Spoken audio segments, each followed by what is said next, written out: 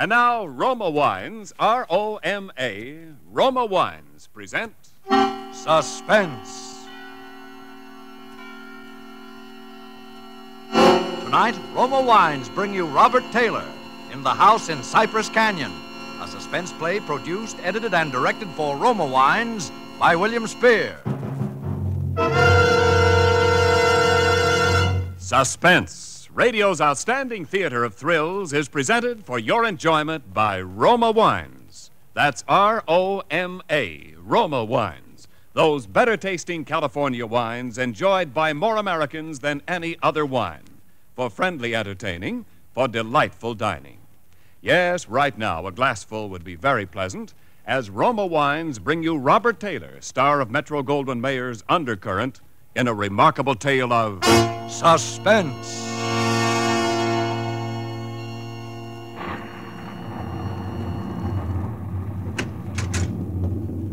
Merry Christmas, Jerry. How's the real estate business? Kind of early with your greeting, aren't you, Sam? Well, I got to get 'em in sometime. I may not see you again until next Christmas. If this real estate racket gets any crazy, I'll be dead by next Christmas. I'm glad you could get up here, though, Sam. What's on your mind, Jerry?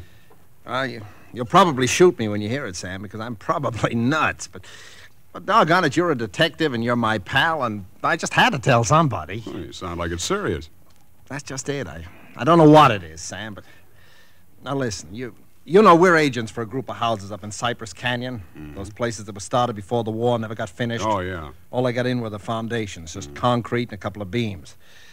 Well, they've been finished now. In fact, I'm putting up the for rent on the last of them today. What do you want? Police protection from the mob? Listen, Sam, this house that I'm talking about, it's got a number now, uh, 2256. But before, when the men went back to work on it about three months ago, well, they just started when the foreman on the job brought me a shoebox that he'd found up on a beam. And this box had a, a what do you call it, a, a manuscript in it, a story kind of, all written out. Yeah. Well, he gave me the thing. I read it. I didn't think much about it. I put it in my desk. But the other day, and I happened to drive by there, I saw the number on the house and what the house looked like. I thought of this manuscript. And, well, I don't like it. That's all. There's something funny about it. What's funny about it? Well, mind you, this thing was found in an unfinished house in Cypress Canyon. House that was only just started building. All It's, uh, well, listen, Sam, I want to read it to you if you got the time, and you'll see what I mean. All right, shoot. Well, here's how it begins. Uh, to whom it may concern. My reasons for setting down on paper what follows here will be Paper, what follows clear. here will be abundantly clear to anyone into whose possession it may fall. First, let me say that I'm a very ordinary person. My name is James A. Woods. I'm 35 years old. By profession, a chemical engineer. My wife, Ellen, was a school teacher when I met and married her in Indiana seven years ago. There's nothing in the past life of either one of us to suggest remotely any cause or reason for the dreadful thing that has invaded our lives. Our married life has been in no way different from that of millions of other average, reasonably happy, and congenial families. Three months ago, I was ordered by my firm to take charge of a rather minor project in Los Angeles, uh, Hollywood to be exact. The order was a sudden one. There'd been no time to secure accommodations, and conditions being what they are, the inevitable result was that until day before yesterday, we'd been living in the cramped quarters of one of those characteristic California motels. Needless to say, most of our spare time had been devoted to a search for something more permanent and comfortable, but the fruits of these efforts had been financially and in every other way a geometrical progression of discouragement. Until last Saturday afternoon, only four days before Christmas. We were driving into town on our way to a movie when Ellen saw it. Jim, look. What? That sign in front of that real estate office. Oh, yeah. But uh, yeah. don't you see what it says? For rent, furnished, two bedroom house, close in, immediate occupancy. Yeah, uh-huh. Aren't you going to stop? Oh, Ellen, you know what a sign like that. It'd mean right out in plain sight in front of a real estate office. Oh, office. yeah, but Jim. Either they want $600 a month. We'll or- never know until we And if it's any good at all, there are probably 50 people fighting for it right back there now. Well, honey, there's no harm in trying now, is there? You really want to go back? Oh, it's probably foolish, but what can we lose? Okay. Oh, darling, come on, cheer up. How do you know? Maybe our luck's changed. Maybe fate's to give us a nice new house for a Christmas present.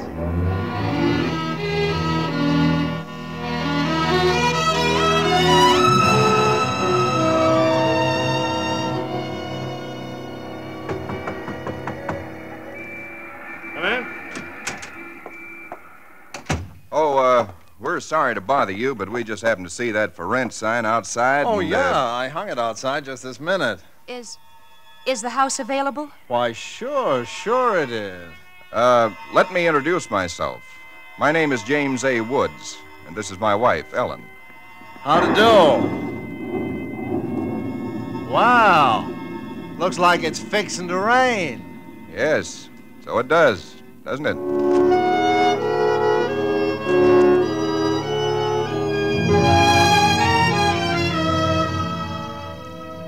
Well, it was one of those things. The real estate agent had just been authorized to rent the place by mail that morning, and he'd hardly had time to look at it himself and put up his sign when we drove up.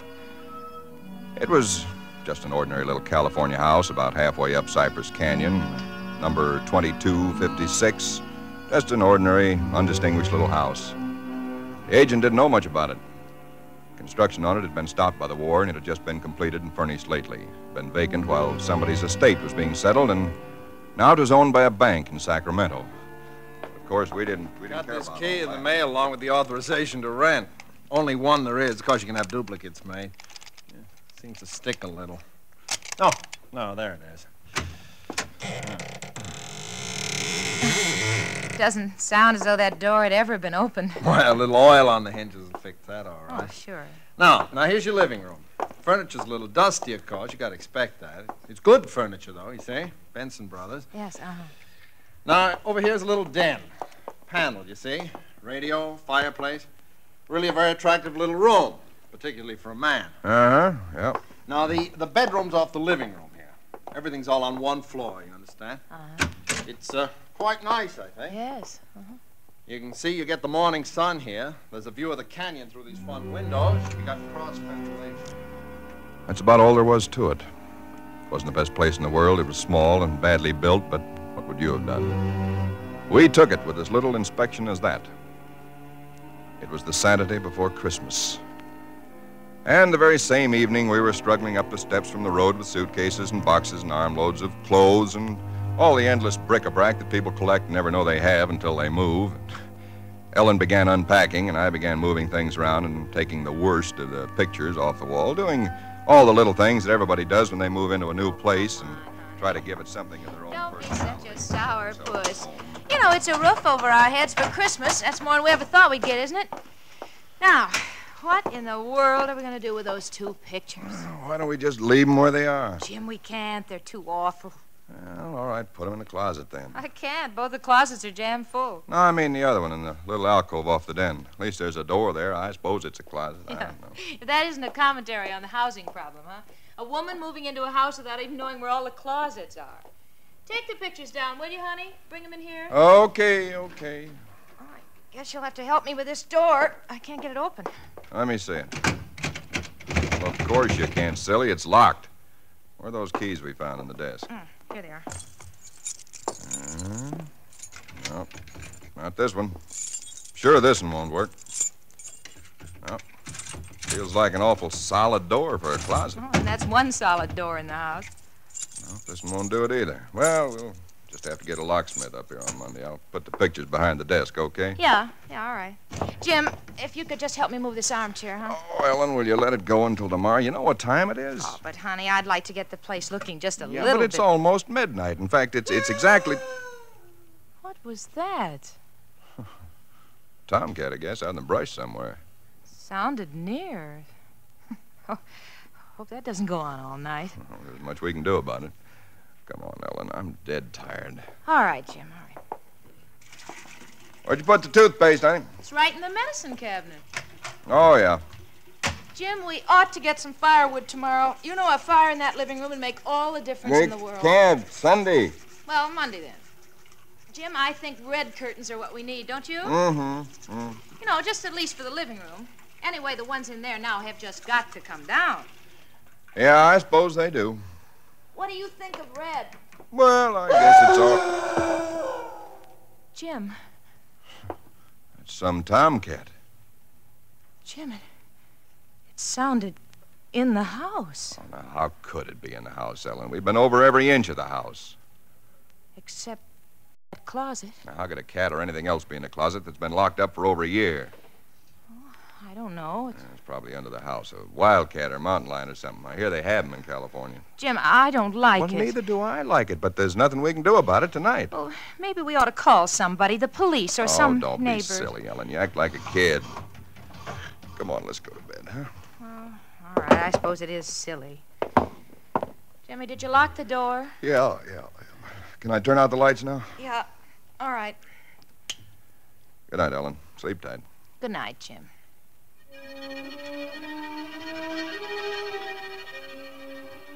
I don't know what time it was, perhaps an hour, perhaps only a half hour later. My mind was in that hazy borderland between sleep and a dream that's still part of consciousness. then I was awake. Ellen, are you all right? Yes. Did you have a nightmare or something? No. I heard it too. Well, that didn't sound like any cat. Put on the light. Yeah. It seemed to be out there, Jim, in- the house somewhere. I'm going to look into this. Jim, you be careful. Come on. Where's, where's my shotgun? In the den, I think. Jim, What? there. There's something wet What? Wet. running from under the closet door. Sticky. Ellen, don't. Don't touch it. I had to. Jim, it's blood.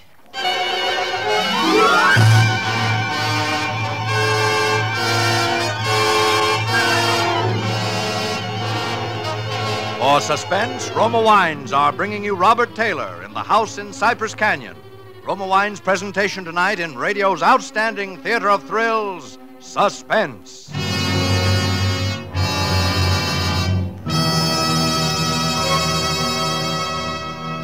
Between the acts of suspense, this is Ken Niles for Roma Wines. These days before Christmas are busy ones indeed, yet smart hostesses everywhere find time for shopping and distinguished home entertaining later. The secret? Magnificent Grand Estate Wines. Presented by Roma, America's greatest vintner, Grand Estate Wines add distinction to your hospitality on a moment's notice. Make your holiday welcome, effortless, and in perfect taste. The brilliant clarity, full fragrance, and mellow taste of Grand Estate wines please discriminating people everywhere. For Grand Estate wines, limited bottlings by Roma, are born of choicest grapes, then patiently guided to superb taste richness by Roma vintner skill, necessary time, and America's finest winemaking resources. Delight your guests with Grand Estate California wines for entertaining, medium sherry, ruby port, or golden muscatel. For dining, burgundy or sauterne. So insist on Grand Estate wines and enjoy the crowning achievement of vintner skill. And now, Roma Wines bring back to our Hollywood soundstage Robert Taylor as James A. Woods, with Cathy Lewis as his wife Ellen, in the house in Cypress Canyon. A tale well calculated to keep you in suspense.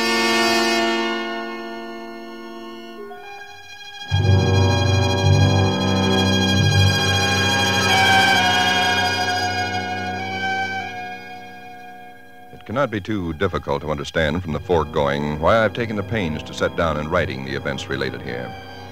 To find in one's newly rented house a closet which cannot be opened is in itself certainly no great cause for alarm. But to be awakened in the stillness of the night by unearthly cries within that house, to find oozing from under that closet door something that is unquestionably blood, that's another matter. Perhaps others might have been braver than we. Suffice it only to say that we got out of the house in something very close to a panic, and only returned when we had the moral support of two stalwart Los Angeles policemen. You uh, just moved in here, you say? That's right, officer. You can, you can see we're still unpacking. And the place has been empty right along before that? Yeah, I, I don't know much about that part of it. You could check all that with the real estate agent, though. Well, uh, where is this closet? Oh, it's it's right in here, officer. And and the blood the blood is Where? Where's the blood? Jim. Officer, I, I swear to you, there was blood on the floor less than an hour ago. I, I saw it. Uh-huh. It was running out from under that door. We heard that noise and we got up and then we saw it. The, the door was locked. Locked, huh? Oh no, I, Well, it seems to be all right now. Hey, uh, you folks aren't trying to be funny, are you? Is, isn't there anything in it? No, ma'am, there is not.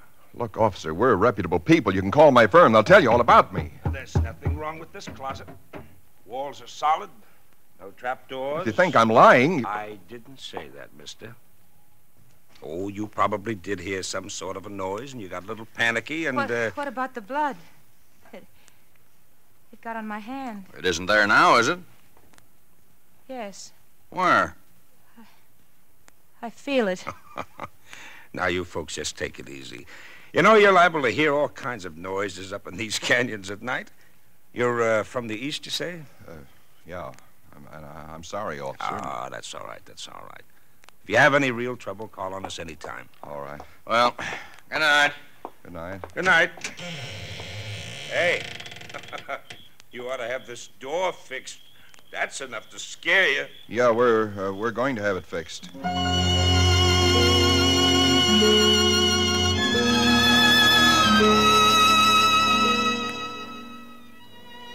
Didn't say much about it after that. There wasn't much that could be said. The next day, I went down to a lot and bought a little Christmas tree and some trimmings, and we tried to pretend we were cheerful, but there was an uneasiness between us that had never been there before. Ellen seemed tired and listless. Several times during the day, I noticed her washing her hands with a, with a brush, scrubbing the one that had touched the blood. That night, we each took a sleeping pill and went to bed.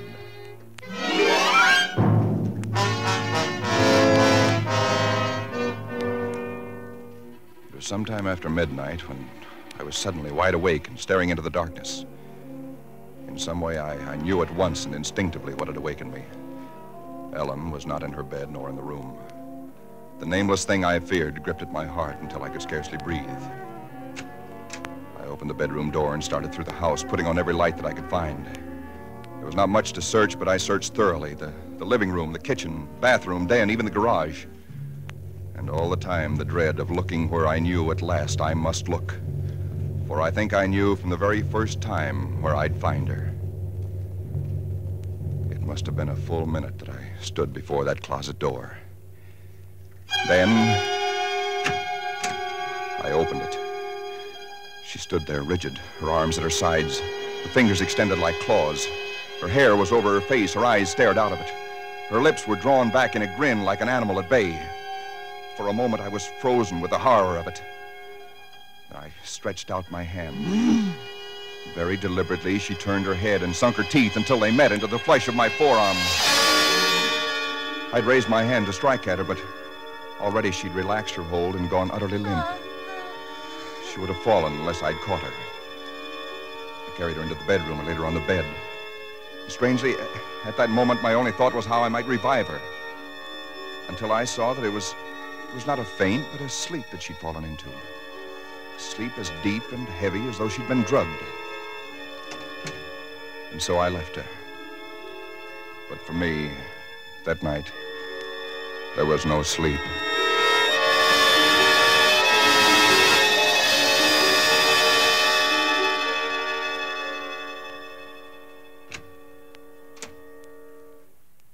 Jim, Yes, Ellen? what are you doing up so early? Oh, I, I got a little restless. I'd make some coffee. Oh. oh. I had the most wonderful sleep. And I feel so rested. Do you? Mm-hmm. Jim. What? What's the matter with your arm? Oh, I I just heard it. Why, honey, it's it's terribly swollen. Let- Let me see it. no, it, it's all right, Ellen. Oh, it isn't all right. You've got to see Dr. Wesley right away. Sure, I, I will. No, I now will. you promise me, Jim, that you'll go the first thing this morning. How'd it happen? Why, uh, th- th- there was a dog. A dog? Yeah, I I heard him trying to chew through the screen door. I went out to chase him away, and he bit me. Well, you mean there, there's all that racket and I didn't even wake up? No, Ellen, you you didn't even wake up.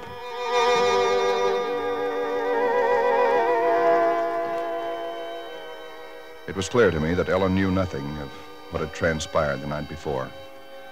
I went to my office that morning and made a pretense of going over routine business, if only to restore my mind to some semblance of calm by the sight and sound of common, familiar things. Pain in my arm had become a persistent, dull throbbing. I made a late appointment with Dr. Wesley. He treated my arm with something of an arched eyebrow, and, and he said, Well, I've never seen anything quite like it before. That is such a rapid onset of infection.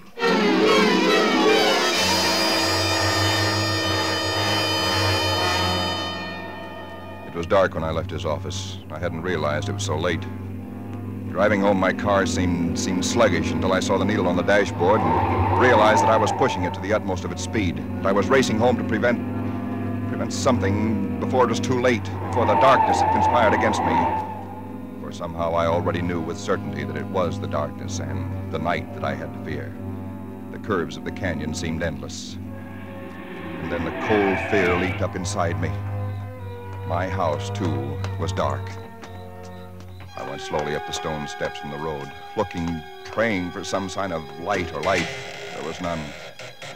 The house was empty. Ellen was gone. I, I looked with the same self torturing thoroughness, and in that closet first of all, knowing as I did so that it was hopeless. And so, alone in that empty house, I waited, powerless and helpless now deadened in thought and will, empty as the house itself, save only for the overwhelming sense of a terrible foreboding. For some time in the early hours of the morning, I snapped on the radio, shortwave. Why? Surely a minor question now. I only know that I did. And then I heard it. Car 58, car 58, go to Laurel Canyon, the 4000 block. A report that a man has been injured or attacked. Condition thought to be critical. Ambulance will follow. That is all. I was there almost before the police, edging my way through the little crowd, staring down at the man lying there in his white uniform under the streetlight. Yeah, the milkman, poor guy. I heard him scream, but when I got here, just like this. There's All nothing right, on his stand tongue. back, All stand right, back. Please, please stand back. Well, you again.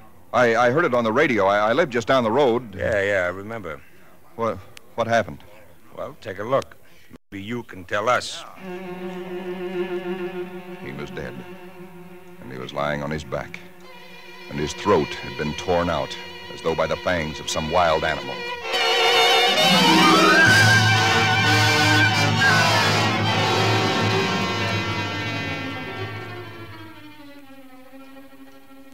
It is now Christmas Eve. Or rather, Christmas morning, for it's a little after midnight.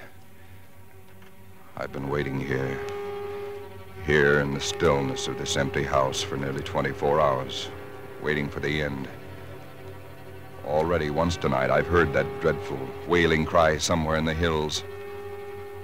I've nailed up the closet door, but that I, I know is childish and useless. My arm is horribly swollen and turning black, but that's nothing. It's another end that I foresee, as, as surely as other men foresee the rising of the sun. I hear the cry again. It's nearer now. I shall leave these notes in a sealed envelope and put it in a shoebox, in the hope that someone will give credence to these dark and terrible events, if indeed such nameless horrors can ever yield to mortal understanding. As for myself, I feel no longer any fear or even sorrow. Only a desire that the end and the thing that I must do may come soon. And it will be soon, I know. Yes. For there is someone at the door.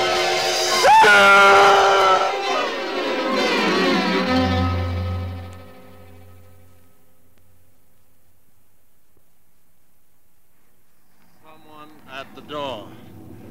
Ah, what do you make of it, Sam? It's quite a yarn. But what of it? That's what I thought. Now, listen, that's not quite all of it. Clip to it's a newspaper clipping. Listen. Hollywood, December the 26th. Police reported what was apparently a case of murder and suicide in Cypress Canyon sometime in the early hours of the morning. The victims were James A. Woods, a chemical engineer, and his wife, Ellen. Preliminary investigation indicates that Mrs. Woods was killed by the blast of a shotgun in the hands of her husband, who then turned the weapon upon himself. That she fought desperately for her life, however, was evidenced by the disorder of the room and the severe lacerations inflicted upon her husband about the neck and arms. This is the second tragedy to be reported in Cypress Canyon within 24 hours. The other being the unexplained death of Frank Polanski, a milkman. Well, no such murders or whatever they were ever occurred, if that's what's worrying you. The clipping, have those things printed up, you know. No, no, it's not that, Sam. That story was found in an unfinished house in Cypress Canyon. No number, no nothing, just a framework. Uh-huh. Now that house is finished. When I drove by it today, but that's what stopped me, Sam, because it all fits. Now that it's finished, it is the house in the story, the same construction, the same vines and creepers on the lawn, even the same number. So what? A guy who knows roughly what this house is going to be like writes a yarn and loses it or something. Did he know the place was going to be listed for rental today, the Saturday before Oh, Christmas? Jerry, coincidence. Two bits you find the guy next door is a ghost story writer or something, and he's been wondering for a year what happened to that thing he wrote. Okay. Okay, coincidence. Well, I, I'm sorry I bothered you, Sam. Don't be silly. I liked it. It's a good yarn. Uh, that the uh, for rent sign you were talking about? oh, yeah, yeah, I'm going to put it up outside now. Uh-huh.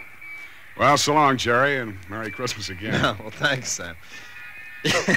I guess I was kind of silly, all right. Huh? Listen, when a guy named uh, whatever it is, Woods, with a wife named Ellen, comes in to rent that place from you, then you can start worrying. yeah. Well, so long, Sam. so long, Jerry. Uh. Come in. Oh, we're sorry to bother you, but we just happened to see that for rent sign outside. Well, yeah, I hung it out just this minute. Is. Is the house available? Oh, sure, sure it is. Let me introduce myself. My name is James A. Woods, and this is my wife, Ellen. How do? Wow. Looks like it's fixing to. Yes, it does, doesn't it?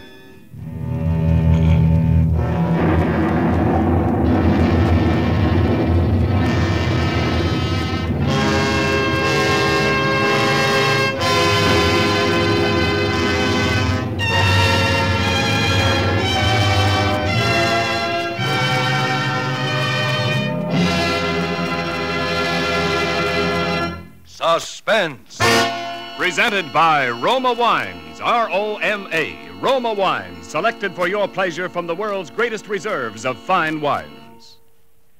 Tonight's show marks the third birthday of Suspense on the air, and this is Ken Niles asking our star of the evening, Robert Taylor, to help us celebrate. Why didn't you tell me before, Ken? If I'd only known, I'd have baked a cake. Well, Bob, all suspense parties are surprise parties. As an old hand on suspense, uh, you know that in our plays, the tables are usually turned on the star. So tonight, although it's our birthday, we're going to give you a present. Here it is a gift basket of Grand Estate California wines from Roma, America's greatest vintner, to our distinguished anniversary guest, Robert Taylor. Thanks, Ken. You turn a nice table. And you can set a nice table with Grand Estate Burgundy in your basket, Bob. For Grand Estate Burgundy means rare dining pleasure, adds memorable distinction to holiday dinner. Even everyday meals are outstanding in taste when Grand Estate Burgundy is served. Yes, all Grand Estate wines presented by Roma are limited bottlings of outstanding taste excellence. That I know about Grand Estate wines, Ken. But did you know that for Grand Estate wines, Roma selects only the choicest grapes? Then the ancient skill of Roma master vintners, necessary time, and America's finest winemaking resources guide the cuvee of this grape treasure to rich taste luxury. That's why discriminating wine users everywhere look to Grand Estate wines as the crowning achievement of vintner skill. Reason enough. And now, Ken, who's all set to star on Suspense next Thursday? It's that very wonderful actress and wonderful girl, Miss Susan Peters. Susan will appear as a young lady in straitened circumstances who finds herself mistaken for a very rich young lady and who is forced into continuing the deception with murder as a result. I'll certainly make it a point to listen. And uh, before I go, I'd like to thank this really great company of actors who have played with me tonight, and particularly Cathy Lewis, who played Ellen. Thank you, Bob. Tonight's original suspense play was written by Robert L. Richards. Next Thursday, same time, you will hear Miss Susan Peters as star of Suspense. Produced by William Spier for the Roma Wine Company of Fresno, California. This is CBS, the Columbia Broadcasting System.